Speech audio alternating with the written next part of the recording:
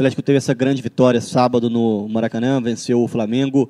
Agora duas partidas em casa, ou seja, chance de consolidar esse espaço no G4 e alcançar a liderança, né? Sim, é o que a gente quer, né? Temos é, dois jogos em casa. É, a obrigação nossa é, é vencer, porque em casa não está dando certo, né? Então a gente tem que se esforçar mais e tentar ganhar esses dois jogos. Dátulo, você disse aí que em casa não está dando certo. Com esse novo sistema do Levir, o Atlético era aquela história imbatível em casa. Muda um pouco essa questão, o time não é tão, tão dependente assim da torcida, pode jogar melhor tanto dentro quanto fora de casa. Ficou um time um pouco diferente, Dátulo? Eu acho que não estamos jogando mal dentro de casa. Acho que temos que ser é, um pouco mais, é, temos que estar mais concentrado né, em casa. Temos que, é, quando fazemos um gol, temos que tentar é, segurar o resultado. É, e eu acho que, que, que, é isso, que segurar o resultado e tentar melhorar a marcação. Mas, mas eu acho que o time está jogando bem. É, mesmo perdendo naquelas partidas, perdendo, empatando, eu acho que o time, para me entender, está jogando bem. O Dátulo, e só voltando um pouquinho no final de semana, há quase sete anos o Atlético não vencia no Maracanã. Então, uma vitória também, além do, dos pontos conquistados, muito representativa, né? É, foi muito bom vencer lá, né? Sabíamos a importância do jogo, sabíamos que ia ser muito difícil, né? Mas a gente, a gente demonstrou mais uma vez que, que pode jogar bem é, fora de casa, pode vencer. Então, o time está forte, está forte e eu gostei, eu gostei como o time jogou, mas ainda não conquistamos nada. Temos que continuar por esse caminho e, e jogar cada jogo do mesmo jeito que, que jogamos lá no Flamengo. Duas novidades para o domingo: o horário do jogo, 11 horas, e o Mineirão. Queria que você comentasse essas duas questões. Não, a gente já conhece. É, a única coisa nova para a gente é jogar de manhã. Não, eu, é a primeira vez que, que vou jogar de manhã, mas essa é a única novidade porque a gente está acostumado a jogar no Mineirão, já jogou vários, vários jogos lá, a gente conhece o, o campo do jogo, então não vai ser, não vai ser difícil nem, nem vai mudar nada é, no jogo domingo. E você disse há pouco que o time, às vezes você sente que o time tem que estar um pouco mais concentrado em casa. Por falar nessa palavra especificamente, concentração. Na véspera, ao contrário do que vinha acontecendo, vocês terão que passar a noite aqui, né? Muda um pouquinho a rotina, mas também não é nada demais, né, Dátulo? Não, na verdade, para mim é melhor. Para mim é melhor concentrar. Porque eu moro no Buriti, tem muito barulho lá, meu Deus. Aí. Nossa Senhora. Nossa Senhora. É, por exemplo, sábado, eu acordo com um cara batendo na minha testa, assim, tá fazendo obra lá em cima. Né?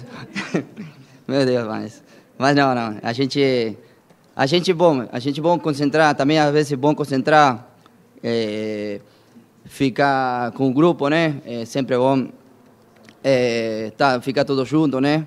Para se conhecer melhor, para ficar todo mundo junto. Então, às vezes é bom concentrar. Ô Dátulo, é, no último jogo o Levi acabou usando o Michael Swell no lugar do, do, Carlos. Eu queria que você, como homem do meio de campo ali, falasse qual é a diferença de jogar com um ou com o outro. Como, desculpa, não...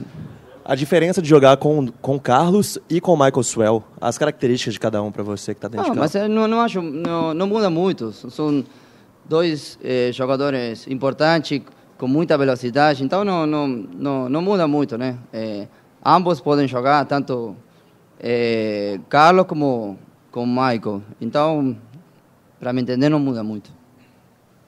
O Dátilo, para uma equipe que é colocada aí como uma, da, uma das candidatas ao título. Esses dois jogos, com todo respeito ao Joinville e ao Curitiba, que são times que brigam na parte de baixo da tabela, não pode ter os tropeços que aconteceu contra Cruzeiro e Santos? Eu acho que é óbvio que a gente entra em campo respeitando sempre o rival, seja Cruzeiro, seja Flamengo, Joinville, não interessa. É, tem que respeitar em campo, é, jogando bem, jogando bola, é isso o nosso trabalho. É, é o único jeito de respeitar o adversário jogando bem dentro do campo. E a obrigação nossa é sempre vencer. Entrar em campo, pensar em, em vencer, tanto dentro de casa como fora. Dátulo, se a gente for observar as estatísticas do Campeonato Brasileiro, o Atlético se destaca em vários é, fundamentos. Cruzamentos, finalizações, passes, desarmes. Esses números eles credenciam, aumentam a confiança para o Atlético estar sempre ali brigando pelo G4? É, eu acho que nosso plantel, nosso, nosso grupo, tem jogadores com muita qualidade. Isso facilita as coisas, às vezes, facilita o jogo. É, então, eu acho que esse, esse maior. É, nossa, nossa carta é isso, é que temos muitos jogadores com muita qualidade e, e isso facilita às vezes entrar em campo e, e ter a, tanto como posse de bola como, como no ataque. Então, essa é a diferença. Dátalo, você falou dessas partidas que o Atlético perdeu, mas jogou bem, né? Contra o Santos, por exemplo. Então, o que fazer para isso não acontecer, né? Que sempre o time jogar bem e vencer o jogo. É, eu, eu prefiro sempre jogar bem. Às vezes não vai dar certo, às vezes é óbvio que o futebol às vezes vai perder, vai empatar, mas sempre jogando bem. Então, é, se tenho que perder jogando bem, eu vou escolher sempre jogar bem. Porque se você jogar bem, tem muita chance de, de ganhar muitas vezes. Então, é, às vezes, é, prefiro jogar bem, sempre. Dátolo, o Atlético está chutando muito a gol nesse Campeonato Brasileiro. É uma orientação do Lever Cup, um pedido dele para que vocês tentem, chutem mesmo para o gol? Sim, o treinador sempre pede isso. Passagem por afora, lateral, cruzamento, chute a gol. É isso que sempre o treinador pede para a gente. Então, a gente capricha, entra em campo e faz e a gente entra para se divertir, né? Também a responsabilidade de, de ganhar está sempre, mas entramos em campo também para divertir também. Dátolo, a CBF já vai colocar dois jogos às 11 horas, né, por rodada é, na próxima na outra é, na próxima semana. É, voltando aos jogos das 11 horas, na Itália costuma muito também jogar de manhã e o é, que, você acha disso? Você acha que pode pegar aqui no Brasil e como é que foi sua experiência de jogar de manhã lá na Itália? Olha, eu não tive a experiência de jogar de manhã, nem seja na Itália, na Grécia, na Espanha, onde eu joguei. Vai ser uma experiência nova para mim. É, vamos ter que acordar cedo, mas vamos, vai ser a mesma coisa como acordar. Às vezes temos um treinamento de manhã, vai ser, vai ser a mesma coisa, só que a responsabilidade é que, que é maior que, que vai ser um jogo, né? Só isso. Como? Você acredita que vai pegar aqui no Brasil? É, tudo, tudo cambio, às vezes pode ser para bem ou pode ser para mal. Então, Vamos ver se, se vai dar certo ou não. Dátalo, quando pega um chute perfeito ali, preciso, na veia mesmo, qual é a sensação que o jogador tem? É, é o máximo, né? A sensação máxima de... É, é bom sempre, é bom sempre é, bater, fazer gol, essas coisas. É, é isso que o jogador sempre quer, né? Dátalo, voltando à questão dos jogos às 11 horas da manhã, mais uma curiosidade. Das sete partidas realizadas neste Brasileirão, neste horário, apenas em uma o time mandante conseguiu a vitória. É uma coincidência? O que o Atlético pode fazer para evitar que esse número continue sendo favorável aos visitantes? Não, acho que temos que tomar mais Red Bull e entrar mais desperto em campo, né?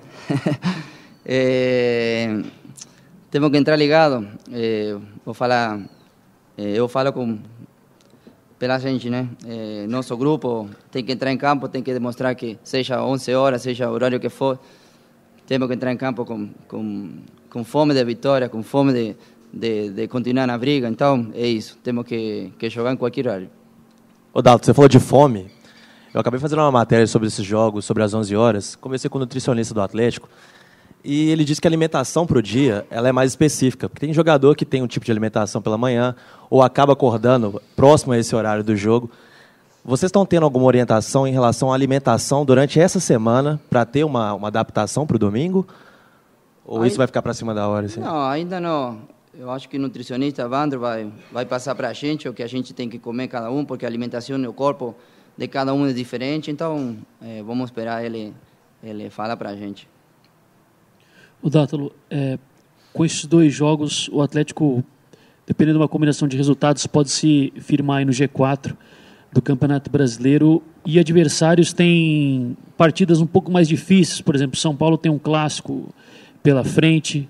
É, você acha que pode ser a ascensão mesmo do Atlético dentro do Campeonato Brasileiro, atingiram uma posição que, que ter uma maior regularidade entre os primeiros? É isso que a gente está tá procurando está se esforçando ao máximo cada show, cada treinamento. A gente está comentando sempre, está tá tentando melhorar o que a gente está tá errando. Então é isso. Procurar uma regula- regularidade, é, tentar ganhar esses dois jogos e, e continuar na briga. É isso que a gente espera.